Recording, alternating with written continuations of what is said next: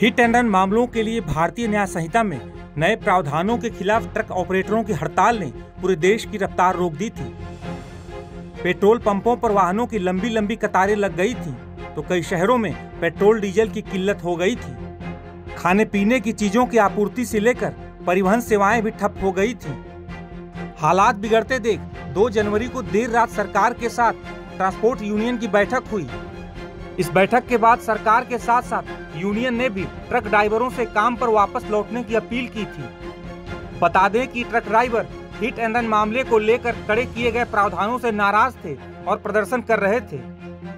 हालाँकि अब सरकार ने साफ़ कर दिया है कि नए कानून और प्रावधान लागू नहीं किए गए हैं, इस पर कोई भी फैसला All India Motor Transport Congress के साथ बातचीत के बाद लिया जाएगा। दरअसल इस कानून को सख्त करने के पीछे देश में सड़क दुर्घटनाओं और उनमें होने वाली मौतें हैं। सड़क परिवहन और राजमार्ग मंत्रालय के आंकड़ों के मुताबिक, साल 2022 में कुल सड़क दुर्घटनाओं और इनमें होने वाली मौतों में हिट एंड रन मामलों की हिस्सेदारी 14.6 प्रतिशत और 18.1 प्रतिशत थी। वहीं साल 2021 में ये संख्या 16.8 प्रतिशत और 11.8 प्रतिशत थी। हालाँकि भारत में सड़क दुर्घटना या इनमें होने वाली मौतों की कोई एक बड़ी वजह नहीं है।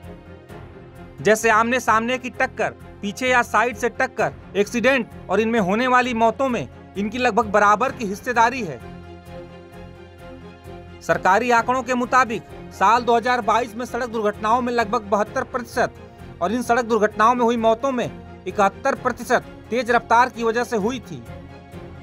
बता दें कि नेशनल हाईवे पर सामान्य सड़कों की तुलना में दुर्घटना का ज़्यादा खतरा होता है।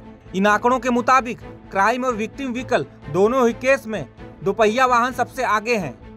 बता दें कि टू व्हीलर का आपस में टक्कर का आंकड़ा सबसे अधिक है। जहाँ तक ट्रकों और लारियों का सवाल है तो एक क्राइम व्हीकल ग्रुप में दूसरे नंबर पर रहे हैं। हालाँकि उनके सबसे बड़े शिकार दोपहिया वाहन रहे हैं। बता दें कि हिट एंड रन मामलों में सजा का आंकड़ा बेहतर है।